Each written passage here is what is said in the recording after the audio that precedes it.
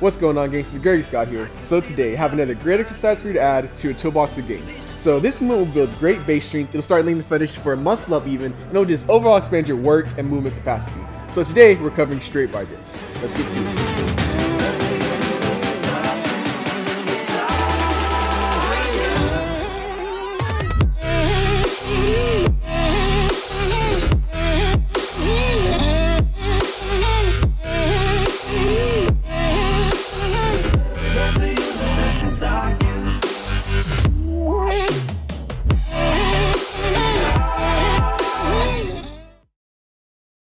Alright guys, so welcome to Straight Bar Dips 101. So like I was saying earlier, this movement has many benefits. So number one, it's a high bang through buck movement, meaning it hits multiple muscle groups all at once. So with this movement, you're hitting core, you're hitting triceps, you're hitting shoulders, you're hitting chest, all that's gonna get fired up. Number two, it's part one of three of what you need in order to get a muscle up. So the muscle up, you need straight bar dips, you know, transitional strength, and, and explosive pull-ups. So it helps with that. And then number three, just overall expands your movement and work capacity. So I would classify this movement as a high level beginner movement. So what that means is it's not that crazy technical, there's not that much technique to focus on, but you do need to have some baseline level of strength. So if you can do about 8 to 15 parallel bar dips, good deep reps, then you're ready for straight bar dips. Alright, so with all that in mind, let's now get to the action. So first I'll just show you some good basic reps and how yours should look every single rep of every single set. Alright, so I'm here, inhaling down, exhaling up, staying tight. Inhaling down, exhaling up. Inhaling down, exhaling up. All right, so that's how your reps should look every single time. So now mistake number one, the number one thing you have to focus on when you're doing these reps is creating external rotation. So what that means basically is I'm breaking the bar in half and driving my elbows in. I'm externally rotating so that my elbows come in. So you'll see all the time, people, they'll do these reps like this, they don't know any better. They'll come like this, their elbows will just flare way out, and this is just wrong. That's damaging to the shoulders. You're not getting the maximum muscle recruitment, and it's just a bad habit to get into. So number one is always come in here, act like I'm breaking the bar in half, right? So I'm doing this motion, which is gonna force my elbows in, and it's gonna allow me to get the most out of the movement. So I'm here, I'm breaking the bar in half, creating my elbows in, touching my chest to the bar, coming up.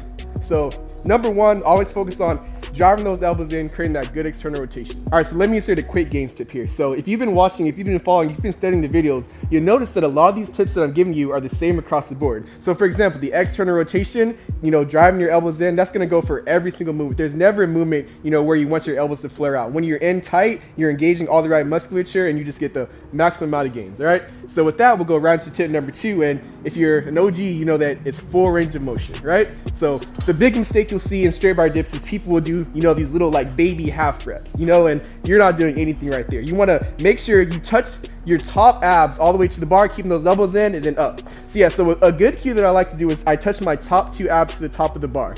All right, so I'm here, touching my top two abs, then I know that I'm at 90 degrees. Then I know that that's where I can press up.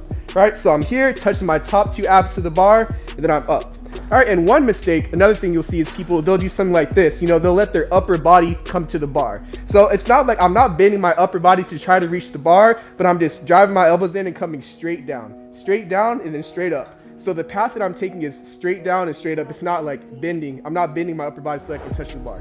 So one more time, keep driving my elbows in, getting that full range of motion. It's gonna look like this. So I'm here, driving the elbows in, touching my top two abs to the bar, and then I'm straight up. All right, so last gains tip for us here on the traditional rep, then I'll show you ways that we can go beast mode and progressive.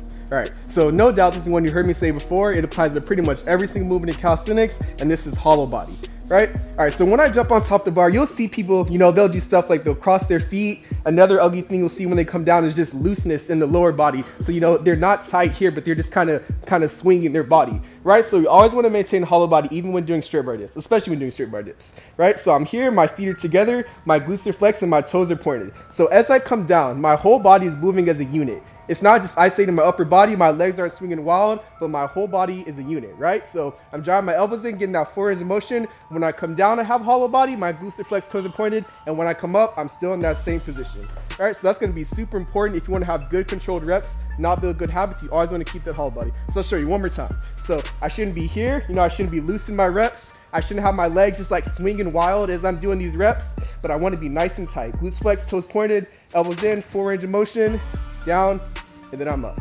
All right, and so those are three things you need to focus on for the straight bar dip. So I'll show you three different ways that you can progress movement, and no doubt these are things you've heard before. So like I was saying earlier, these concepts, the things that I'm doing on this movement, they can apply to another movement. So as I'm saying them, I hope that you're learning them, I hope you're internalizing them, and I hope that you're applying it to your other workouts, other exercises, and just making maximum gains. All right, so the first thing we'll do is just an isometric hold right? So instead of, you know, just doing reps one second down, one second up, I can start doing things like coming down, holding for five seconds. Five, holding that hollow body, really driving my elbows in. Three, two, one. Then I'm up. I can do different tempos. I can do three seconds down, three, two, one, three second pause at the bottom, three, two, one, three, two, one, right? So there's just an infinite amount of ways you can mix up your reps. You can do like long 10 second holds at the bottom of the rep, 20 second holds, 30 second holds, 30 seconds down, 30 seconds up, five seconds down, five seconds up, really whatever you want. Just think of creative ways to challenge yourself, right? But just keep that good form. So at no point when I'm ever holding should my form break, but I should just stay tight the whole entire time.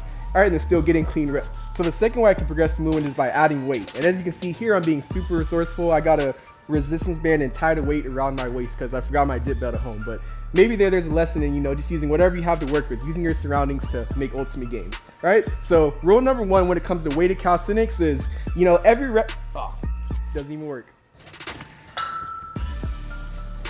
Ah nothing can stop me all right, so like I was saying, so number one rule of weighted calisthenics is my weighted reps should look exactly like my body weight reps, right? So just because I add weight doesn't mean my form breaks down, doesn't mean I start getting sloppy. My weighted reps should look exactly like body weight. So if your form does start breaking down, then it means the weight is too heavy or you need to go back and work on, you need to lower the weight or you need to go back and work on the foundations, just getting your form down just your body weight, right? But it's still the same thing. So my elbows are nice and tucked in.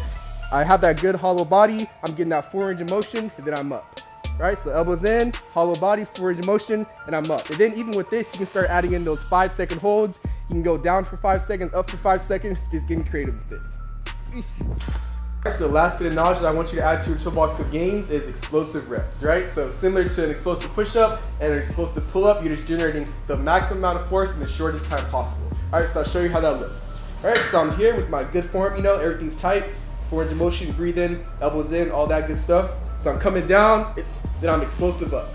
Coming down, I'm explosive up. Coming down, and I'm explosive up. So one thing to note, if I'm doing these explosive reps, that doesn't mean lose control. So I shouldn't come here and then, you know, just lose my hollow body or not be tight, but I should still have that same good bar path of coming straight up and coming straight down. All right, so I have two more gains tips that I want you to internalize, and that's gonna be a wrap. All right, so the first thing, so all these reps that we're learning, you know, these weighted reps, the tempo reps, the isometric holds, the explosive reps, all those can be used together. So if you wanted to, you could do a weighted tempo explosive rep. So if I had 10 pounds to me, I could go like, I could be here, I could do five seconds down, five, four, three, two, one, explosive up.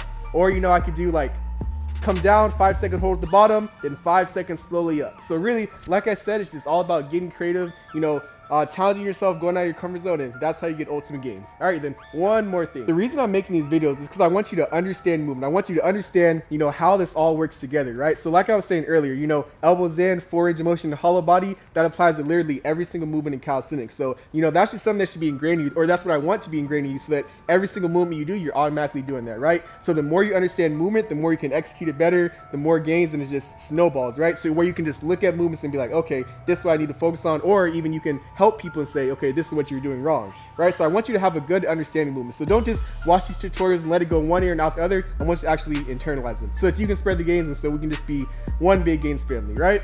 Besides that, I just want to thank you for taking the time to watch this video. You know, taking the time to better yourself is truly, truly, truly appreciated, all right? So besides that, follow me on Instagram if you have any questions. Make sure to get that 1% better physically, spiritually, and mentally. Most important, spiritually. And as always, as always, as always, have a gameful day. Muscle up down. So this is going to build that up. And then three, just overall expands your movement capacity and work. Ah,